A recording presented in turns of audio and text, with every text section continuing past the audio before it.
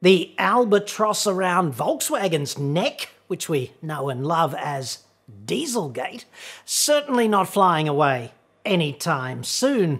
The latest uplifting development there is next.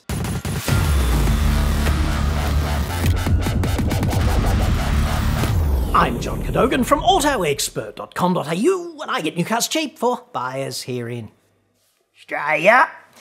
Even Volkswagens. Just, hey, call me Mr. Inclusivity. Hit me up on the website. Like that. News out of Frankenfurter, Germany, where a court this week happily ruled that former Volkswagen CEO Martin Winterkorn will stand trial on fraud charges linked to the company's global emissions crimes, where it, you know, knowingly put profit ahead of human health and said, hey, love us anyway, which worked out so damn well for them. I think you'd agree, at least through the prism of retrospectivity. Yes. To date, Volkswagen has paid more than 30 billion euros, which is about uh, 50 billion Shitsvillian, you know, micro pesos. That's a lot of hoot. In penalties and settlements for being such fine, outstanding citizens and paragons of corporate virtue, etc. They dropped their reputation in the sewer, essentially, as a consequence of these carefully taken decisions, which were apparently approved at the highest level, and which remains a real surprise and delight event for a reporter such as me. Imagine how close we'd be to having a Therapeutic Goods Administration approved zombie pandemic curing vaccine with that kind of spare cash to throw at it. Like, just saying. What can you not cure or solve for 30 billion euros? It is the universal panacea seemingly. Anyway, after five years of carefully thinking this through, a three judge panel in beautiful downtown Braunschweig, in Volkswagen's neck of the woods, which would be Lower Saxony, ruled that car buyers suffered a financial loss when they bought a car without being aware that it was equipped with illegal software, which is such a paradox. It's not like they could have put, you know, quote, new Golf diesel now with loss ensuring illegal code to pump up the toxicity in the brochure. Not even in the fine print. Epicurus could have had a field day with that, of course, except he's been dead inconveniently for the past 2,360 ish years. So there's that. The court in Bratwurst, or wherever, found a quote, predominant likelihood of conviction in the fraud charge. It's a Germans, you know, they're quite precise like that. Look at how well they run their railways. It's amazing. They're really good at predicting the foreseeable future. Just saying. The three wise German judges said that four other defendants would also face trial on fraud charges connected to aggravated tax evasion and illegal advertising. Dates for the trial are yet to be set, but. Uh, my cock and I have never seen a five way that we didn't really enjoy. But I have to say, we are really looking forward to this one more than usual. They hate tax evasion, right? Courts, governments, whatever. They hate it. Just ask Wesley Snipes. They have no sense of humour whatsoever on this tax evasion stuff. To regulators, you know, tax evasion is a worse crime than murder. Public trials are always quite fun too, which Big Marty's is apparently set to be. There's really nothing a former corporate rock star loves more than having his dirty laundry oxygenated on the nightly news for Fritz and Helga to watch after their 12 hour shift at the local chicken processing plant. They dig that. Mr. Winterkorn, whom I hasten to add is innocent until proven guilty, and he's been innocent in that way since he was indicted in America for similar alleged mongrel wrongdoings, actually conspiracy and wire fraud charges. He's been innocent of that since Thursday, the 3rd of May 2018. That's a shitload of innocence, in my view. Anyway, it looks like he'll be innocent of that until hell freezes over, because Germany does not extradite its citizens to the USA, no matter how innocent they continue to be in circumstances such as these. So that's quite lucky for Big Marty, when you think about it. Anyway, the time duration of ongoing Winterkorn innocence could be somewhat shorter in Germany.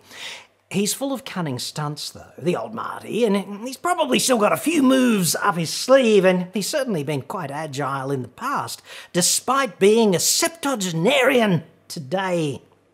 My favourite Marty does Cirque du Soleil moment was when he parachuted so adroitly out of the top job at Volkswagen just days after the US EPA announced a notice of violation on September the 18th of 2015.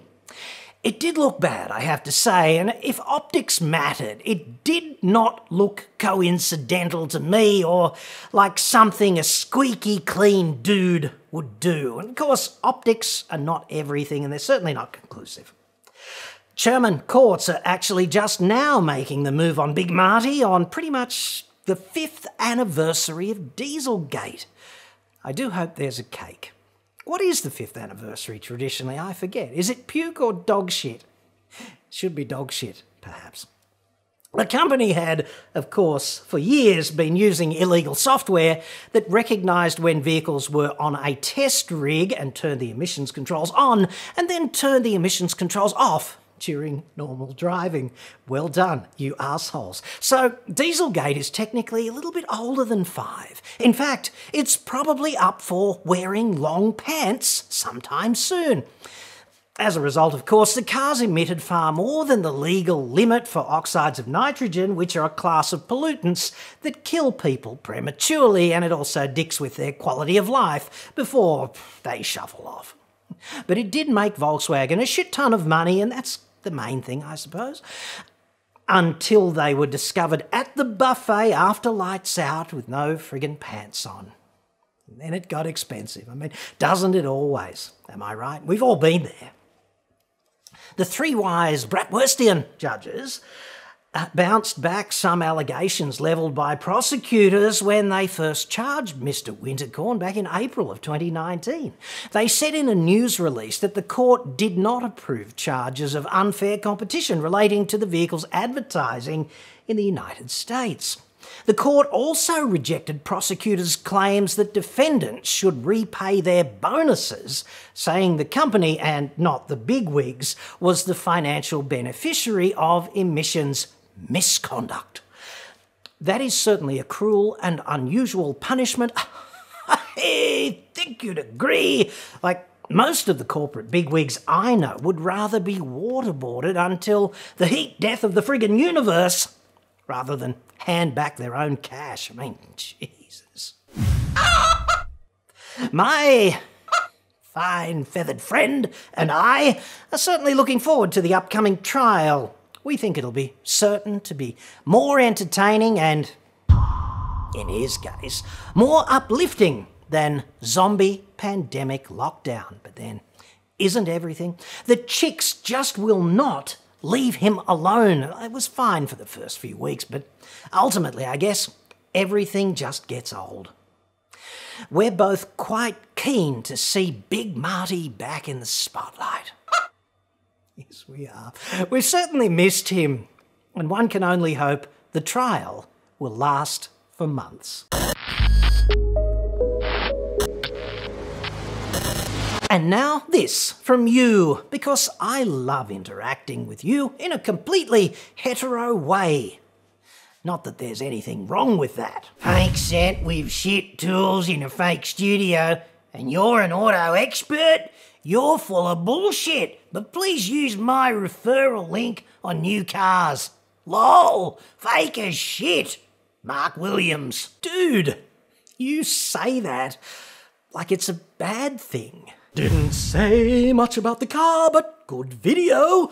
I didn't expect to like your politics. But there's another surprise. That comment from John Duggan was about my recent Kona electric report, and I'm glad you enjoyed it, John.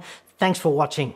Dude, my politics is fairly easy to summarise because, on my world, politicians are generally incompetent, self serving, talentless, former lawyer dicks, regardless of which side of the house they're actually sitting on. And frankly, they seem to be getting worse. If we had Kylie friggin' Minogue as the Prime Minister, management of the country would not possibly be worse.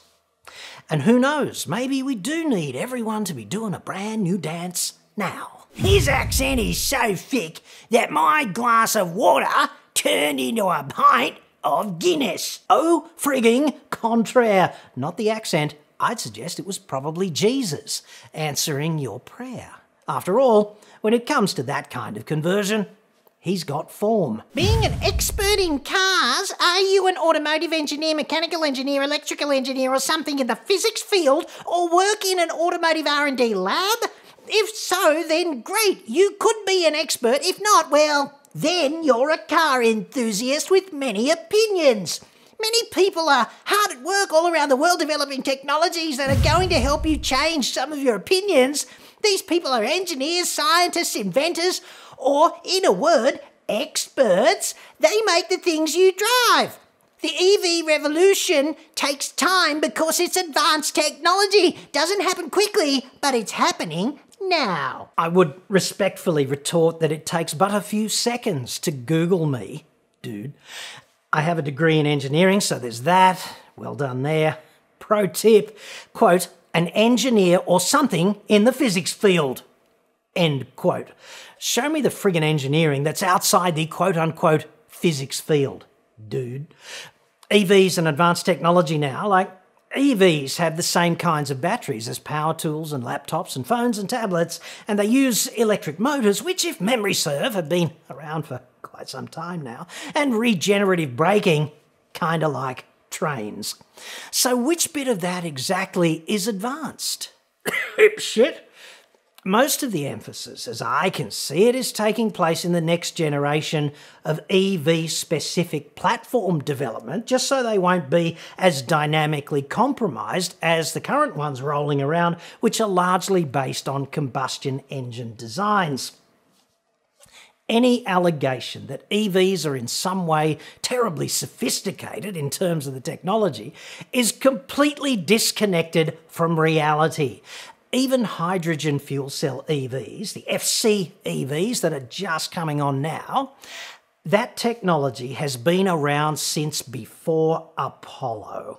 The Apollo spacecraft used a fuel cell to produce electricity for the flight to the moon and back. And when that oxygen tank exploded on Apollo 13 so memorably, it was there to power up the fuel cell to provide the electricity.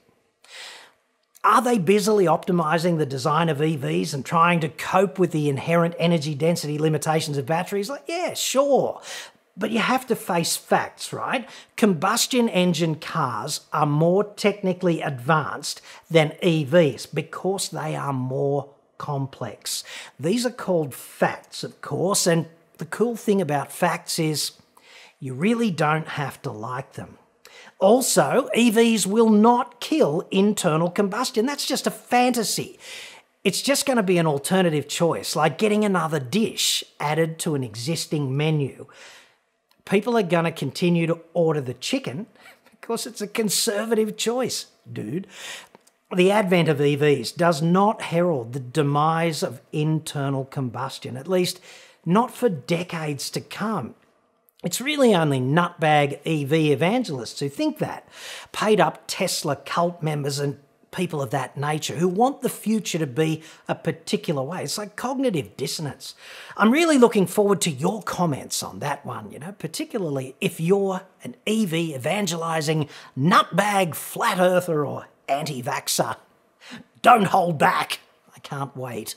For everyone else, of course, thank you very much for watching.